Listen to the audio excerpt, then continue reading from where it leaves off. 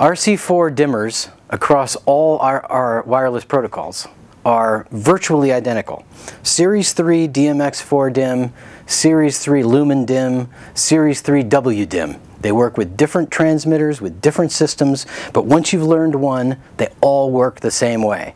So when you've been on a job site that had a Lumen DIM transmitter or a job site that had a wireless, uh, wireless solutions transmitter, when you figure out how to work the buttons and how to use RC4 One Touch and digital, uh, uh, digital persistence, the Flicker engine, the HSL engine, all of these things work exactly the same. So you don't have any new learning curve when you're on a job with a producer who's chosen a different network system.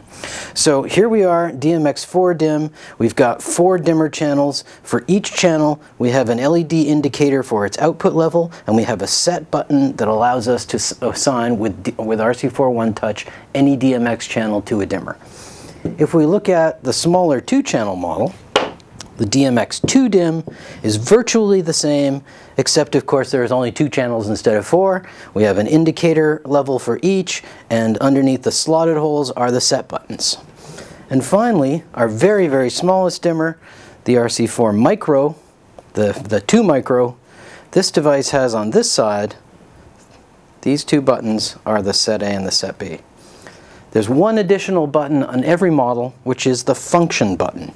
So in some cases, if you hold the function button and press another one, you get a what we'll call a hidden feature. And that's the same on every model.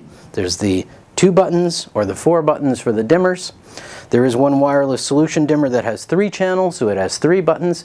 You get the idea. They're all the same. There's a one-touch set button for each output, and there is a function button that works like a shift button. So you can hold down the function button and then the other three become something else. It gives you more options without adding a whole another set of buttons. So that is any RC4 dimmer product. And Series 3 in particular, introduced in, in uh, 2014, all look very similar and operate very similarly. Makes it very easy for you to learn one and be able to go to another one.